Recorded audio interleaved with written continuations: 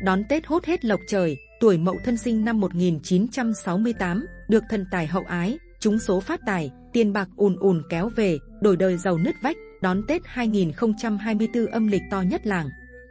Năm nay lộc phước đầy hoa, sinh thời phúc quý nở hoa để dành, ngũ thần hộ mệnh phương xanh, chấm vàng điểm sáng thành danh lâu bền, chín đời cửu ngũ phía trên, vinh hoa phú quý phất lên cửa nhà. Minh Đường Tử Vi xin kính chào quý vị, chào mừng quý vị đã đến và đồng hành cùng Minh Đường Tử Vi trong chương trình ngày hôm nay. Chúc quý vị luôn vượng phát tài lộc, vạn sự hanh thông và thành công viên mãn. Quý cô bác tuổi mậu thân thân mến, sinh mệnh vốn dĩ đã đầy sự nuối tiếc, vậy sao chúng ta không gieo xuống những hạt giống của hạnh phúc trong nghịch cảnh? Mỗi buổi sớm tinh khôi mậu thân sẽ mỉm cười đón ánh bình minh, khi hoàng hôn buông xuống lại thưởng thức sự mỹ lệ dưới ánh chiều tà. Bản mệnh mậu thân hãy dành cho mình khoảng thời gian để thư giãn, dù cho bao bộn bề và những gánh nặng thử thách đang chờ đón mậu thân phía trước. Minh Đường Tử Vi biết rằng cô bác tuổi mậu thân đã phải tìm đến video này, hẳn là cuộc sống của mậu thân không được dễ dàng làm mấy. Mậu thân thân mến, người hạnh phúc nhất chắc hẳn không phải là người có nhiều thứ, mà là người vẫn mỉm cười ngay cả khi trong tay không có thứ gì. Bởi vậy, mậu thân hãy luôn cảm thấy biết ơn, ngay khi cuộc sống này có gửi đến cuộc đời mậu thân những điều bất như ý cô bác nhé. Vì cuộc sống này vốn không hoàn mỹ, bản mệnh mậu thân hãy giang tay đón nhận tất cả những gì mà mậu thân đang có, dù thuận lợi hay khó khăn, cũng đều là an bài tốt nhất của cuộc đời. Bởi vì dù muốn hay không muốn nó vẫn xảy đến với cuộc đời mậu thân, vậy nên hãy luôn suy nghĩ tích cực và kiên cường bước tiếp cô bác mậu thân nhé. Nếu có thể nghĩ được như vậy, cô bác dẫu có gặp nghịch cảnh thì con tim vẫn biết gieo vui, trong cuộc đời đâu thể 10 phân vẹn 10. Nếu tâm của mẫu thân thay đổi thì thái độ của mẫu thân cũng sẽ thay đổi theo, thái độ thay đổi thì thói quen sẽ thay đổi. Và khi thói quen thay đổi thì tính cách của mẫu thân sẽ thay đổi, tính cách thay đổi thì cuối cùng cuộc đời của mẫu thân chắc chắn sẽ bước sang trang mới. Cô bác mẫu thân thân mến, người hạnh phúc không phải là người luôn thuận buồm xuôi gió, mà là người luôn kiên cường biết giang tay đón nhận, ngay cả đứng giữa bão táp phong ba. Khi có thể giang tay đón nhận nghịch cảnh, cô bác sẽ có thể mỉm cười trong bất cứ hoàn cảnh nào. Khi ấy bản mệnh mậu thân có thể thả lòng thưởng thức trăm hoa đang trúng chín sắc xuân. Tân Ngân ngắm những cánh sen đang bàn bạc tả tơi của mùa hạ, đắm đuối trong sự đa tình và lãng mạn của mùa thu, hay hòa tan trong sự nồng hậu và bao dung khi đông về.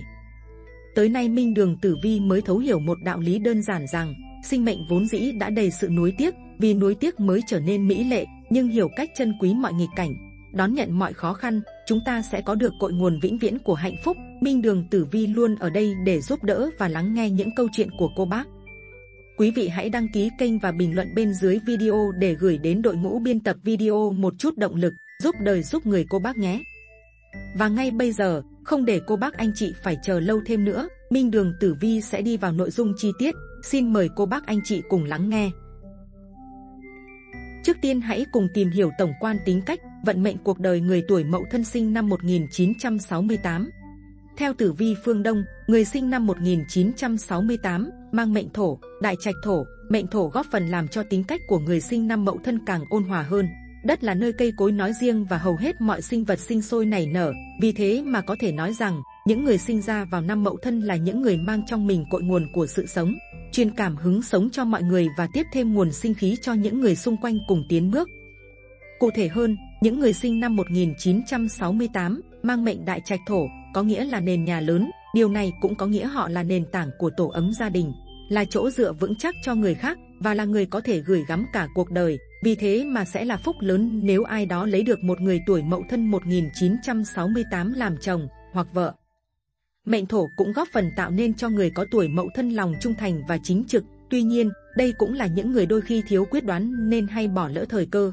Nằm trong mối quan hệ tương hợp hỏa sinh thổ, những người sinh năm 1968 khi kết duyên hoặc hợp tác làm ăn với người mệnh hỏa, chắc sẽ khắc phục được số phận long đong của bản thân. Khi mà công việc hợp tác chắc chắn sẽ thành công tốt đẹp, cũng như hôn nhân sẽ yên ấm, hạnh phúc.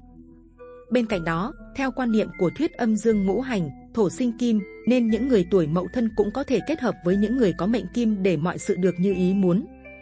Trái lại, mộc khắc thổ nên những người sinh năm 1968 không nên kết duyên hay hợp tác làm ăn với người có mệnh mộc, bởi những người này là khắc tinh của họ, sẽ lấy đi nguồn sinh khí và những may mắn vốn đã ít ỏi của người sinh năm mậu thân, làm cho những người này khó mà thành công và hạnh phúc, lận đận lại càng thêm lận đận. Thổ còn nằm trong mối quan hệ xung khắc với thủy, nên người tuổi 1968 cũng không nên có bất kỳ sự hợp tác nào với những người mệnh này. Theo âm lịch, năm 1968 là năm Mậu Thân, tức là người sinh năm này cầm tinh con khỉ, số mệnh họ vì thế có phần bùi ngùi giống như những chú khỉ. Tài hoa nhưng bạc phận, vì thế mà những người này thường phải cố gắng bằng năm bằng 10 người khác để thành công. Người tuổi Mậu Thân 1968 là những người thông minh tuyệt đỉnh. So với những con giáp khác, người tuổi Mậu Thân sở hữu một trí tuệ có phần nhìn hơn.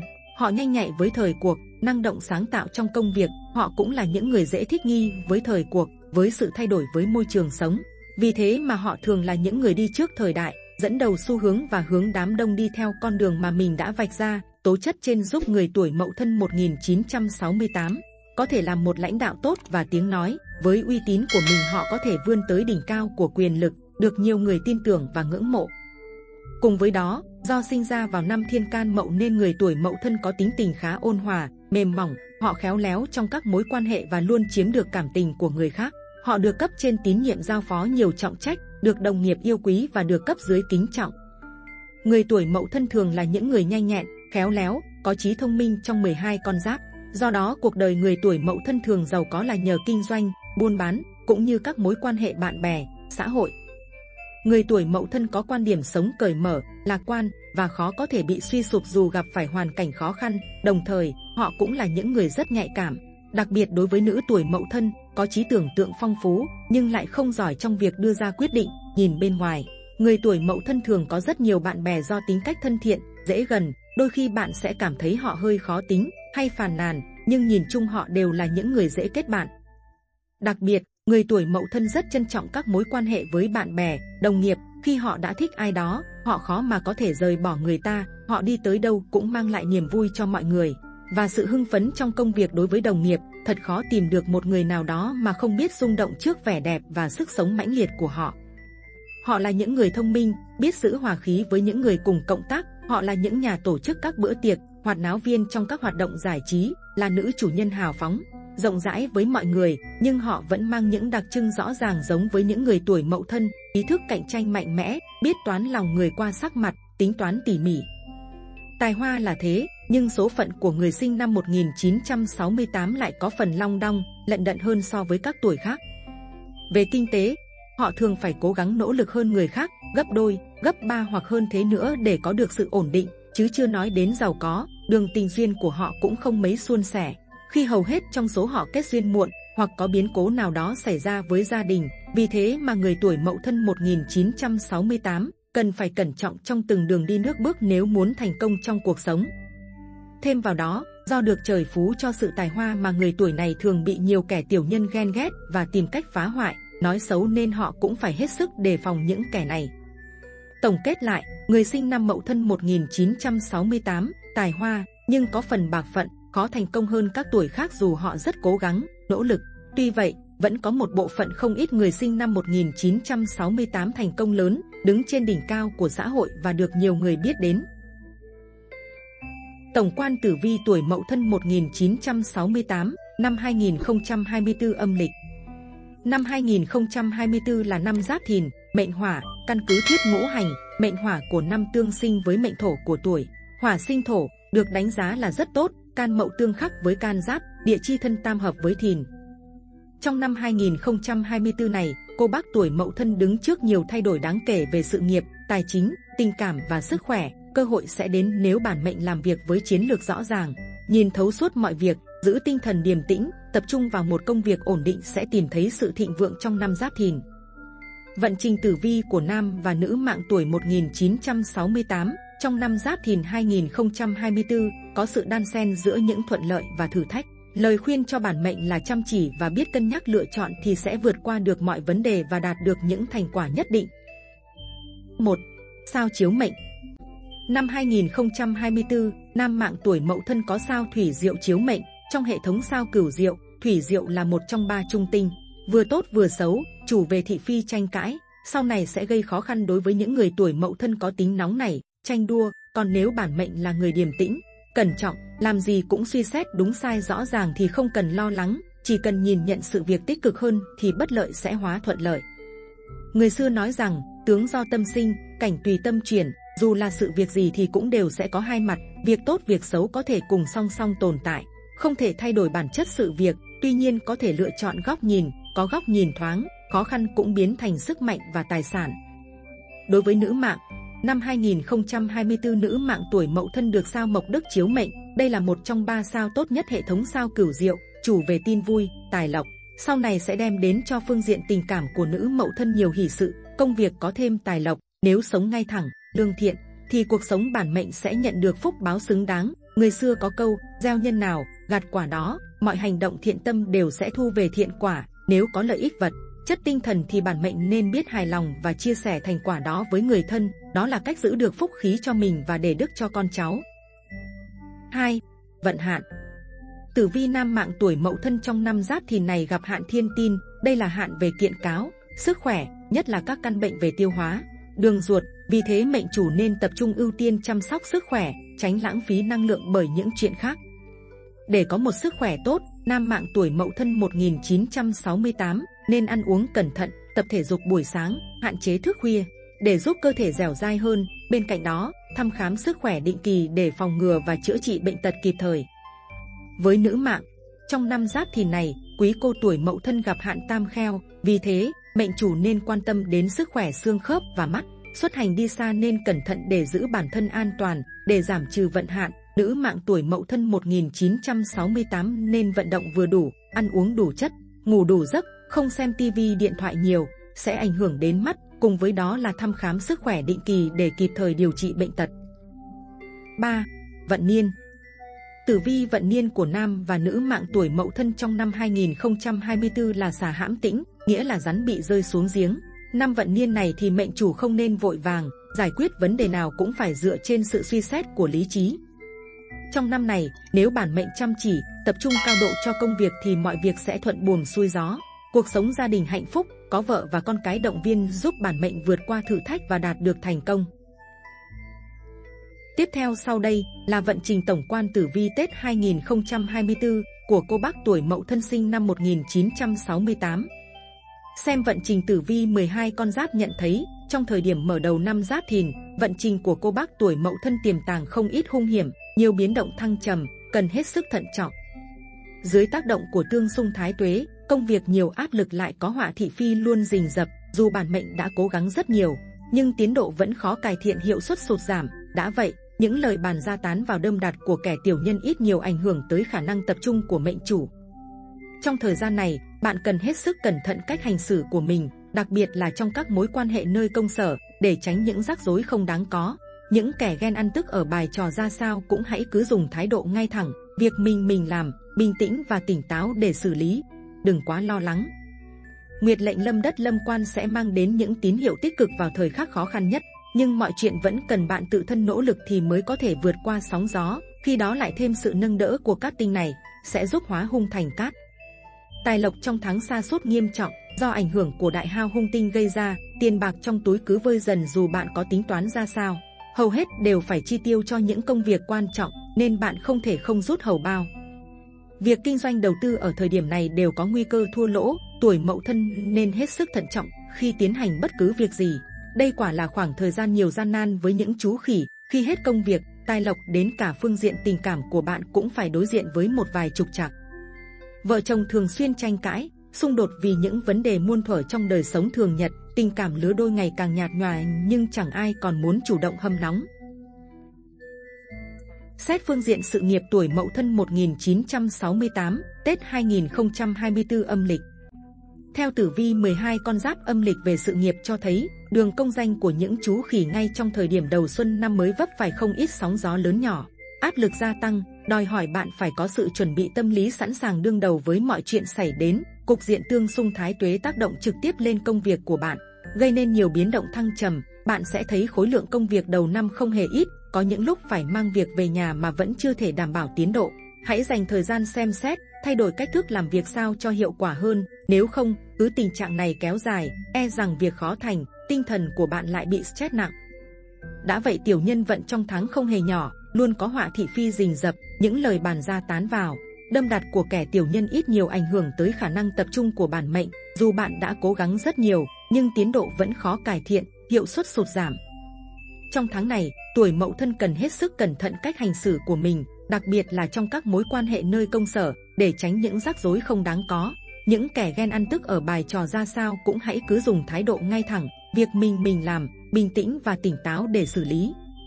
Bạn cũng có thể tham khảo ý kiến đóng góp của những người xung quanh, đừng quá độc đoán kẻo chuốc lấy thất bại. Nếu làm được điều đó, người tuổi này sẽ có được sự hỗ trợ lớn từ Nguyệt Mã và Giải Thần Cát Tinh. Nhưng bạn cũng yên tâm, trong nghịch có thuận, thúc đẩy mọi việc tiến hành suôn sẻ, đầu xuôi đuôi lọt, trong thách thức sẽ tìm ra cơ hội xoay chuyển tình thế. Xem phi tinh tháng sao lục bạch chủ chức vụ nằm ở phương Tây, Bắc bạn nên quét dọn sạch sẽ khu vực này trong nhà. Không nên để quá nhiều đồ đạc lộn xộn, có thể đặt tháp văn xương trên bàn làm việc để đảm bảo tâm trí mẫn tuệ, thúc đẩy công danh thuận lợi. Xé phương diện tài lộc tuổi Mậu Thân 1968, Tết 2024 âm lịch. Đã gặp thắng tương xung với bản mệnh, lại có đại hao hung tinh hoành hành, người tuổi Mậu Thân khó mà gặp may mắn về tiền bạc trong thời điểm đầu năm này. Thậm chí còn có điểm hao tốn tiền, của chi tiêu vượt mức dự toán, có thể rơi vào cảnh vay mượn, nợ nần ngay đầu năm. Dù bạn đã đặt ra rất nhiều kế hoạch, nhưng mọi chuyện cứ đi chệch khỏi quỹ đạo mong muốn, tài chính chủ yếu tổn hao ở những mục đích không thể không rút hầu bao. Hung vận quá lớn, nên việc kinh doanh đầu tư ở thời điểm này đều có nguy cơ thua lỗ, chỉ cần hòa vốn là may lắm rồi, chứ chẳng dám mong cầu có lãi. Tuổi mậu thân nên hết sức thận trọng khi tiến hành bất cứ kế hoạch cầu tài, đầu tư hay mở rộng quy mô kinh doanh ở thời điểm này, bạn vẫn nên tiếp tục hoàn thiện cái cũ, hạn chế tiến hành dự án hay kế hoạch mới thì tốt hơn. Làm ăn càng lớn thì rủi ro càng cao, nên đi từng bước thật chậm nhưng vững vàng. Tuổi mậu thân cũng đừng tùy tiện cho người khác vay mượn tiền bạc trong tháng có nhiều hung tinh quấy phá như này. Đồng tiền đi liền khúc ruột, kể cả người thân quen cũng phải xem xét rõ lý do vay mượn và khả năng chi trả của đối phương, kẻo vừa mất tiền lại vừa mất cả mối quan hệ. Trong tháng, bát bạch chủ tài lộc nhập cung Đông Bắc, người cầm tinh con khỉ muốn giảm bớt nguy cơ phá tài, thì nên chăm chút hơn cho phương vị này trong nhà, có thể đặt bể cá hay bát nước thả hoa ở đây để tài vận khởi sắc hơn. Xét phương diện tình duyên tuổi Mậu Thân 1968, Tết 2024 âm lịch. Theo tử vi 12 con giáp âm lịch dự đoán, đây quả là khoảng thời gian nhiều gian nan với người tuổi Mậu Thân khi hết công việc, tài lộc đến cả phương diện tình cảm của bạn cũng phải đối diện với một vài trục trặc. Dù bề ngoài mọi thứ có vẻ như vẫn ổn, nhưng bên trong lại nhiều mâu thuẫn, trục trặc. Vợ chồng thường xuyên tranh cãi, xung đột vì những vấn đề muôn thuở trong đời sống thường nhật. Hơn nữa, mối quan hệ giữa các thành viên trong gia đình cũng thiếu sự hài hòa, vì ai cũng bận rộn, không có thời gian chia sẻ. Thiếu sự chia sẻ, quan tâm là nguyên nhân chính khiến các cặp đôi ngày càng xa nhau về cả thể xác và tâm hồn. Mâu thuẫn giữa các cặp đôi âm ỉ có thể bùng nổ bất cứ lúc nào sau những cuộc cãi vã, tranh chấp triền miên. Từ những vấn đề nhỏ, nhưng cả hai chuyện bé xé ra to, chẳng còn bao dung cho nhau như thuở mới yêu, những vết rạn nứt tình cảm cũng từ đó mà xuất hiện ngày càng nhiều. Hai bạn sẽ thấy khoảng cách giữa hai người càng ngày càng lớn, nếu còn muốn gìn giữ tình cảm thì nên nhanh chóng tìm cách giải quyết mâu thuẫn, hàn gắn rạn nứt trước khi quá muộn. Với người độc thân, có nhiều lý do khiến chuyện tình cảm của bạn chưa đâu vào đâu, nhất là với nữ mệnh, có thể vì quá kén chọn mà lỡ dở nhân duyên tốt đẹp, cũng có thể thì quá sợ hãi, lo lắng do vết thương lòng còn vương, lại nên không dám bày tỏ tình cảm. Bởi thế, người độc thân vẫn cô đơn lẻ bóng vì hàng loạt lý do ấy, nếu không chịu thay đổi, e rằng tình trạng này còn kéo dài. Xét phương diện sức khỏe tuổi Mậu Thân Tết 2024 âm lịch về cơ bản tình hình sức khỏe trong thời điểm Tết 2024 âm lịch của người tuổi Mậu Thân không gặp phải chứng bệnh tật nào nghiêm trọng. Tuy nhiên, bạn dễ mắc các triệu chứng đau đầu, mỏi mệt, uể oải do áp lực công việc lớn, suy nghĩ nhiều nhưng sinh hoạt lại thiếu điều độ. Điều này nếu không sớm khắc phục sẽ trở thành nguyên nhân tiềm ẩn gây ra không ít chứng bệnh nguy hiểm, đặc biệt là stress. Ngoài ra những chú khỉ có thể sẽ bị chứng mất ngủ hành hạ trong tháng này, nguyên nhân chính cũng là do chế độ ăn uống và luyện tập thể thao không khoa học, ăn nhiều, ít vận động.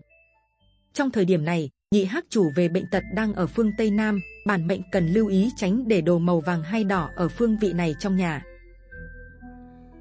Quý vị thân mến, để năm 2024 âm lịch hanh thông, thuận lợi, thì ngay sau đây Minh Đường Tử Vi sẽ chia sẻ cách kích hoạt các tính của sao tốt và cách giải hạn trong năm, để cô bác có một năm mới bình an, may mắn. Hóa giải sao thủy diệu theo phong thủy năm 2024 Đồ phong thủy, thủy diệu là sao tốt, nhưng bất lợi cho nữ, ngũ hành là thủy. Khi gặp sao này vào ngày 21 phụ nữ dùng mộc tiết, như đeo trang sức màu xanh là phỉ thúy, ngọc lục bảo, thạch anh linh, khổng tước, dùng màu sắc phong thủy, đương số nên mặc đồ màu trắng thuộc hành kim, hoặc màu đen, màu xanh nước biển thuộc hành thủy để vượng cát khí. Dùng đá phong thủy, những loại đá quý như thạch anh đen, thạch anh tóc đen, sapphire, thạch anh trắng, mã não trắng, phỉ thúy, ngọc lục bảo cũng rất thích hợp dùng trong năm có sao thủy diệu chiếu. Bạn nên mang theo mình hoặc chế làm vật phẩm phong thủy trưng bày trong nhà. Chú ý lời ăn tiếng nói, mệnh chủ trong năm nên tránh bàn tán chuyện không phải của mình, giữ gìn lời ăn tiếng nói. Ngoài ra, phải luôn giữ thái độ khiêm tốn, cầu thị, biết mình biết ta để không vướng phải rắc rối không đáng. 2.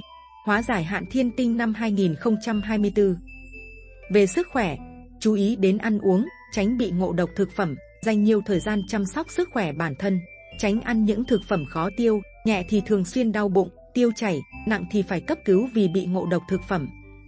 Làm ăn Trong làm ăn, người gặp hạn này cần cẩn thận và tính toán hơn, không nên tin lời người khác mà làm ăn sai trái phạm vào pháp luật. Mọi việc xảy ra cần bình tĩnh và nhẫn nhịn, tránh xung đột dẫn đến kiện tụng ra tòa. Tu tâm, làm nhiều việc thiện, năng làm việc thiện giúp đỡ mọi người xung quanh là cách tích phúc đơn giản mà vô cùng hiệu quả. Ngoài ra đương số nên thường xuyên đi chùa tĩnh tâm hay thắp hương cầu bình an cho gia đình. Quý vị thân mến, đầu xuân năm mới, người Việt ta có phong tục chọn người hợp tuổi sông nhà để năm đó nhiều bình an, may mắn. Nếu người sông nhà hợp tuổi gia chủ, có lối sống tử tế và chân thành, thì sẽ mang đến cho gia đình nhiều tài lộc, thịnh vượng và hạnh phúc. Gia chủ tuổi Mậu Thân 1968 nên chọn những người tuổi Tý, Thìn theo tam hợp thân, Tý, Thìn hoặc tuổi Tỵ theo nhị hợp thân, Tỵ đến sông đất đầu năm. Ngoài ra cũng có thể chọn những người mệnh hỏa cũng rất hợp, cụ thể những tuổi sau đây sẽ hợp sông nhà cho gia chủ Mậu Thân 1968, Canh Tý 1960, Tân Mùi 1991, Đinh Tỵ 1977, Bính Thìn 1976, Canh Thìn 2000, Tân Tỵ 2001. Người đến sông đất đầu năm có thể là nam hoặc nữ đều tốt, chỉ cần người đó là tấm gương về hiểu biết, trí tuệ, yêu thương mọi người thì sẽ đem lại nhiều may mắn, bình an năm đó. 2. Xuất hành đầu năm 2024, xuất hành mùng 1 Tết, đón tài thần bằng cách đi về hướng Đông Nam, đón hỷ thần đi về hướng Đông Bắc.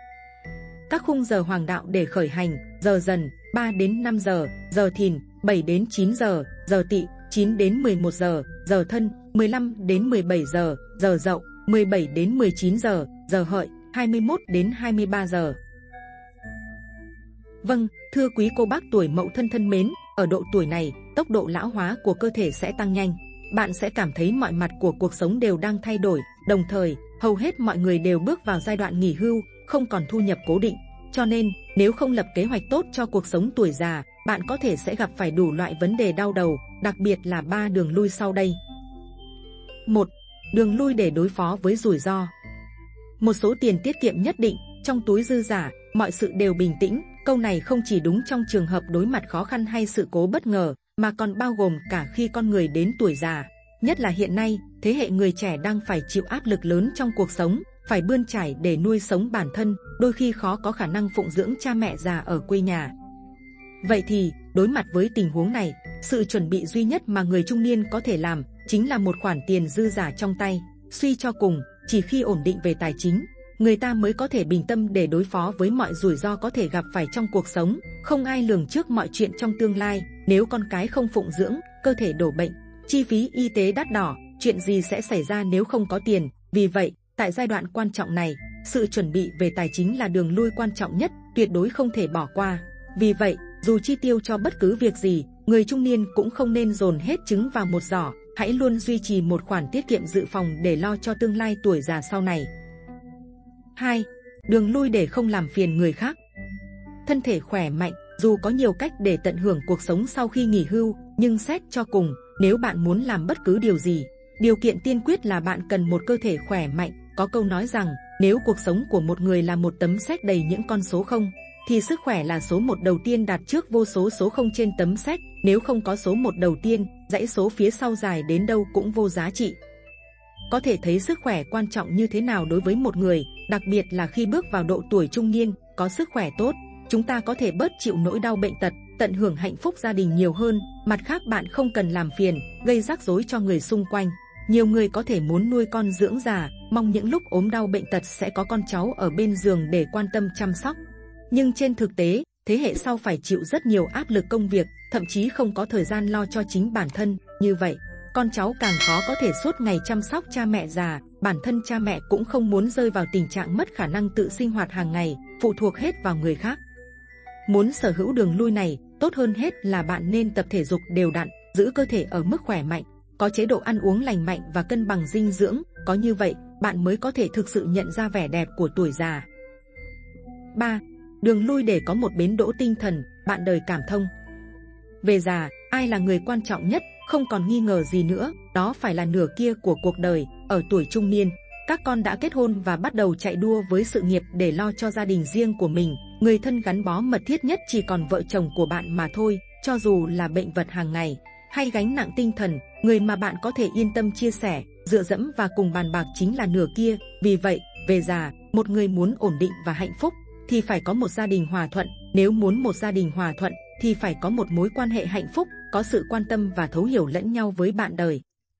Bạn phải biết rằng, ở tuổi trung niên, người mà bạn nên trân trọng nhiều nhất không phải là người thân, bạn bè hay con cái, mà chính là người bạn đời đã đồng hành, sát cánh bên nhau suốt nửa phần đời vừa qua. Nhiều người dù đã đến tuổi trung niên nhưng vẫn thiếu ý thức hoạch định cuộc đời, cho rằng chỉ cần có vợ con là sống thoải mái, yên ổn. Nhưng trên thực tế, trong những năm cuối đời, nếu không tự chuẩn bị cho mình ba đường lui trên từ sớm, rất có thể bạn sẽ rơi vào cảnh trở tay không kịp, tiến thoái lưỡng nan. Chỉ bằng cách chuẩn bị tốt cho bản thân, bạn mới có thể thực sự an hưởng tuổi già, tận hưởng quãng đời còn lại trong hòa bình và hạnh phúc. Vâng, quý vị thân mến, trên đây là toàn bộ nội dung chương trình của Minh Đường Tử Vi. Minh Đường Tử Vi hy vọng quý vị có thể chiêm nghiệm được những điều bổ ích nhất để vận trình hanh thông, tiền đồ rộng mở và luôn hạnh phúc bình an và giàu có. Chương trình đến đây là hết. Xin chào và hẹn gặp lại trong các chương trình lần sau.